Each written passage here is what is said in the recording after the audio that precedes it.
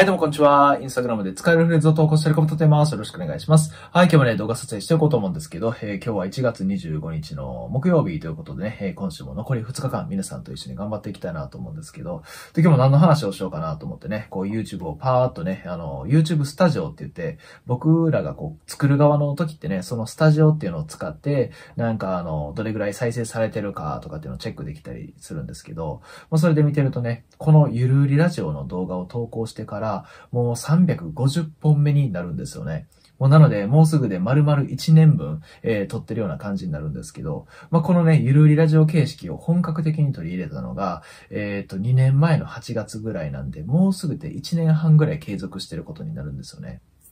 なのでね、まあ、当時を振り返ってみると、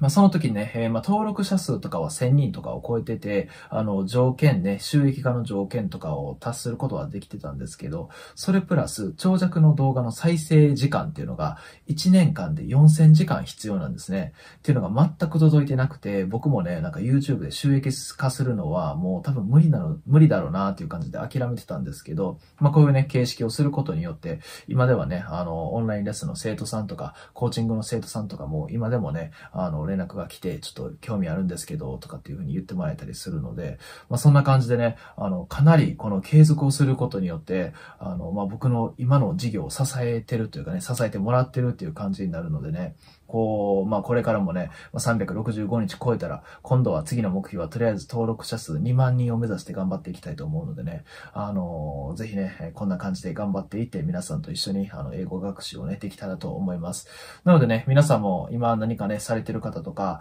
大体結構途中でフェードアウトしてしまう方って、まあ僕も経験上友達でもそうですし、あの、まあ視聴者の方はね、単純に僕の動画を見てないだけかもしれないんですけど、結構やっぱり多かったりするんですよね。まあ、なのでね、あの、まあ、細々とでもいいので、えー、とにかく続けることっていうのが大事なのでね、えー、そんな感じでもしかしたら英語を使って何か将来できるかもしれないっていう思いを持ってね、一緒に頑張ってもらえたらと思います。はい、そしたらね、今日も英語話に移っていきたいと思うんですけど、じゃあ今日は何の話をしていくかというと、皆さん日常でね、えー、ドアを開けたままだとか、えー、テレビをつけたままだとかっていう時あると思います。今日はね、そのフレーズについて紹介をしていこうと思います。じゃあ今日は今説明した何々のままにしておくとかっていうフレーズを紹介していきたいと思います。じゃあそのフレーズね、英語でどんな感じで表せるかっていうと、こちらを使って表すことができます。leave OC。こちらになります。これで O を C の状態にしておくって意味になったりするんですね。もともと leave にはね、その場を離れるとかね、去るとかって意味があるので、あるものをそのままの状態にして離れる。つまりそのままにしておくっていうのがね、イメージしやすいかなと思います。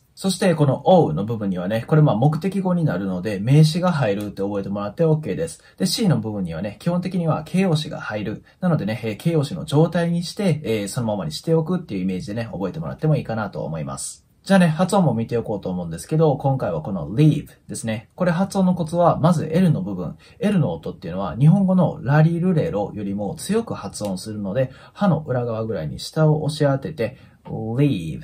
leave こんな感じでね、舌先を強く弾くイメージで発音します。で、その後の v なんですけど、こちらに関しては v の音っていうのは下唇の粘膜あたりを上の歯で押さえて leave, v, v こんな感じの音になるので、えー、それを意識して発音してもらえたらと思います。じゃあね、今日も例文たくさん用意しているので、その中で使いながら覚えてもらえたらと思います。じゃあまず一つ目の例文が、えー、ドアを開けたままにしてしまった。ドアを開けたままにしてしまった。これなんていうかわかりますか？いつもそこのドア閉めてって言われてるのにずっと開けたままにしてしまうとかっていう時ですね。これ語ではこんな感じで言うことができます。I left the door open.I left the door open. こんな感じになります。じゃあこれもね、一つずつ見ていこうと思うんですけど、まずはね、えー、今回何々のままにしておくということなので、えー、leave その後に目的語形容詞の形でしたね。なので今回だったら、I left 過去形なので left になります。で、その後の目的語は the door が入ります。で、最後に開いたままの状態にしてしまうということなので open。これね、形容詞になります。open っていうのはね、動詞と形容詞両方ともあるんですけど、この場合は、え、先ほどお伝えした通り、ここにはね、形容詞が入るので、形容詞の open が使われてます。そんな感じで文法のルールを覚えていくと、あ、これは動詞じゃないなとかっていうのも判断できるようになってきたりするので、それもね、意識してもらえたらと思います。じゃあね、発音も見ていこうと思うんですけど、まず最初のね、I left ですね。この left の F の部分っていうのは、えー、下唇の粘膜あたりを上の歯で押さえて空気をちょっと出しながら発音するイメージです。I left でね、この最後の t の音、これ破裂音になるので、次に母音が続かないときは音が消える傾向にあります。なので、I left the っていう感じで、その次に続いてます。で、この the の発音っていうのは th の音なので、上下の歯で下を挟んで、the, the ですね。なので、I left the こんな感じになります。で、次の door なんですけど、これね、えー、皆さんよくドアって発音してしまいがちなんですけど、これ、あーの音は入らないんですね。どんな感じかというと、ドの後にそのまま R が入るだけのイメージです。door, door 下を引いたり持ち上げたりするイメージなんですけど、それを発音してあげると door で、そのまま open なんですけど、これもね、発音やや注意が必要です。最初の O の部分、これ二重母音なので、O って伸ばすんじゃなくて、O, O な感じですね。で、次の pen なんですけど、ここもプンって強く発音するんじゃなくて、曖昧母音で、まあ、手話の音ですね。あとうの中間ぐらいで、ペン、ペンのような感じになります。で、最後の N はね、えー、これ口を閉じずに、えー、下をね、この歯の裏側ぐらいに押し当てて、ね、ねの感じ。open, open って発音すると綺麗に聞こえるかなと思います。はい、そしたらね、引き続きどんどん行こうと思うんですけど、じゃあ次の例文が、えー、テレビをつけたままにしないで、テレビをつけたままにしないで、これなんていうかわかりますか？これ英語ではこんな感じで言うことができます。don't leave the TV on.don't leave the TV on. こんな感じになります。じゃあこれもね、えー、まず一つずつ見ていこうと思うんですけど、今回やや難しいところがあるかなと思います。まずね、えー、何々しないでっていうことなので、これ、まあ、何々してねとか何々しないでっていうのは命令形を使って表すことができます。命令形は動詞から文章を始めることによって作ることができます。肯定文だったら、今回だったら leave から始めれるんですけど、否定なので don't から始めます。なので、その後は一緒で don't leave で何を何の状態にしておくことをやめてねっていうかっていうと don't leave the TV ですね。で、オンの状態にしないでっていうことなので leave the TV on になってます。で、これちょっとややこしいのが、この on の部分ですね。これ実は副詞で、えー、今回形容詞じゃないんですけど、例外的にこんな感じでね、えー、副詞が入ることもあったりします。なので今回はテレビがオンになった状態のままにしないでっていう意味で使われてるっていう感じで覚えてもらってもいいかなと思います。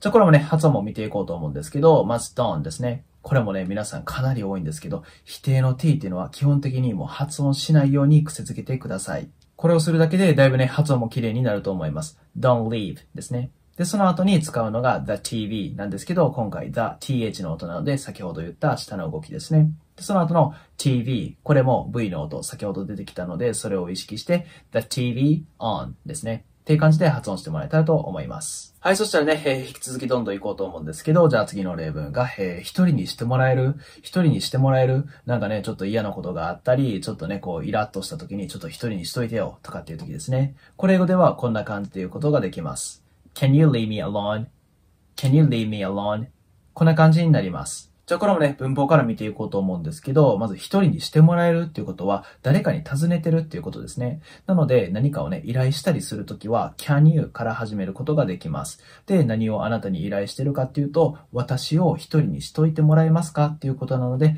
leave me 目的語のところに me が来てます。で、最後ね、一人にっていうのは alone を使って表すことができるので、can you leave me alone のような感じになってます。じゃあね、発音も見ていこうと思うんですけど、まずね、えー、最初の can you のところですね。N が来て、その後に Y が来てるんですけど、えー、子音足す母音、もしくは Y の音はリンキングする傾向にあります。なので、can you ですね。can you leave me? で、ここね、やや難しいと思うんですけど、この leave ね、えー、先ほど V の音発音するって言ったんですけど、その後、そのまま M の音が続いてるんですね。なので皆さん発音してもらうとわかると思うんですけど、leave me っていう感じで2回続けるとやや言いにくくなるんですよね。なので、ネイティブの方って、ここの V の音、ほとんど音が聞こえなくなって、leave me っていう感じでね、そのままの、えー、口の動きを活かして次に行くことが多いです。なので、音で言うと、can you leave me? っていう感じで聞こえなくなることが多いかなと思います。で、最後の alone なんですけど、このあ、あの部分は手話なので、あとうの中間音ぐらいで、えー、弱く発音します。で、その後の lone なんですけど、ここは二重母音になるので、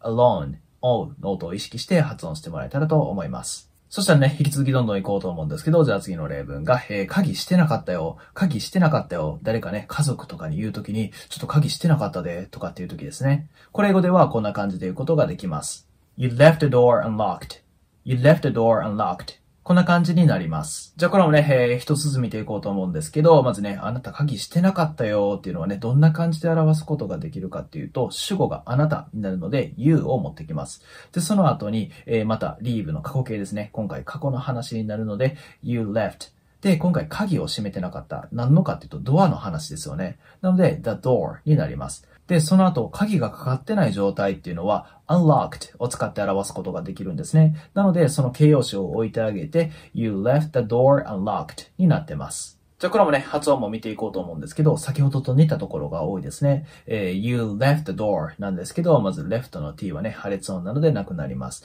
で、the は th を意識して、door はね、ドアにならないように注意してください。you left the door になります。で、その後は unlocked これもね、やや注意が必要なんですけど、まず、an のね、この母音の部分は手話の音なので、あとうぐらいの曖昧母音で発音します。an で、その後の locked なんですけど、これはあとおの中間音で、ややあを強くするイメージ。unlocked って発音するとアメリカ英語っぽく聞こえます。なので、全体を通すと、you left the door unlocked こんな感じになります。はい、そしたら今日はこんな感じで leave OC の使い方について説明させてもらいました。これも日常でめちゃくちゃ使うのでぜひ皆さんも覚えて使ってみてください。はい、そしたらまた次の動画でお会いしましょう。Thank you for watching. Have a good one and see you later.